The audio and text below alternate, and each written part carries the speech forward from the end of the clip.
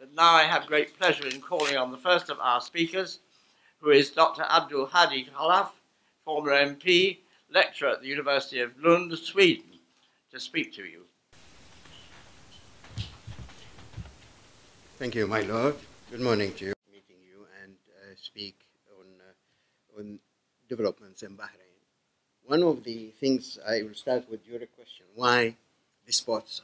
Uh, what reason has have despots to uh, respond to people's demand if they have so powerful friends like uh, the British government?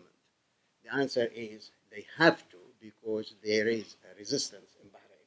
The resistance is not uh, weak, it is stronger, it is getting stronger by the day, and more and more, um, every day, the regime is creating a new, uh, a new adversaries, is, is widening, is helping in Uh, uh, spreading protest and opposition.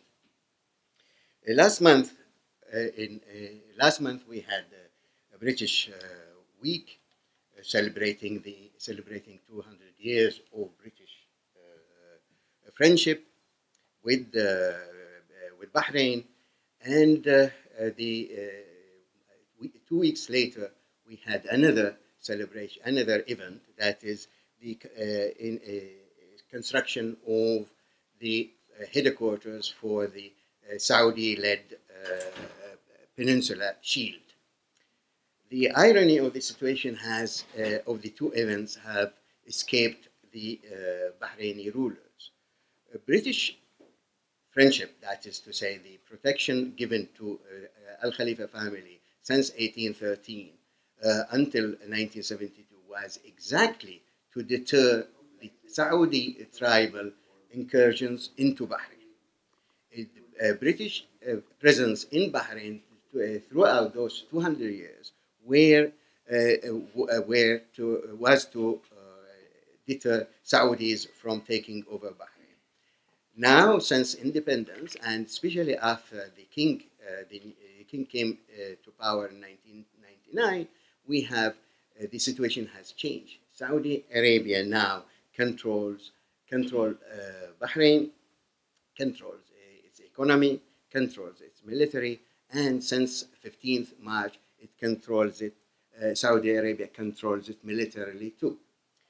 Now, uh, the economy of, uh, of, Bahrain is fully controlled, fully uh, controlled by Saudi investments. You will find these investments in the banking sec sector. You will find it in the main industrial complexes like the petrochemicals or the aluminum factory.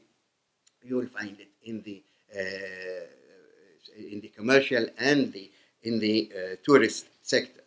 Uh, seven of the 7 million out of the 12 million tourists that visit Bahrain are coming from Saudi, Saudi Arabia. The uh, hegemony that, uh, that uh, Saudi Arabian rulers have uh, accomplished now and are establishing now in Bahrain provides, provides a new page in Bahraini history.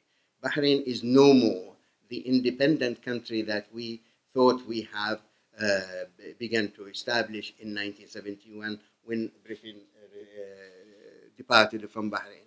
Now it is Bahrain has is turned into a Saudi protectorate, and as such, we have our our adversaries are not only the uh, ruling family of Bahrain and its uh, tyrannic rule, but it's also uh, the Saudi tyrannic uh, rule, tyranny, and we think that we have uh, we have to expand our. Uh, I think that we have to expand our vision to include this uh, strategic change in the situation. Uh, it is no more a question of human rights only in Bahrain. It is no more uh, uh, corruption of the ruling family in, in Bahrain. It is also the right to self-determination. It is the right to independence. It is the right to uh, regain the promised independence that we uh, thought uh, we had. I will leave my, leave my remarks now, end my remark here and hope that uh, we, uh, we will listen to.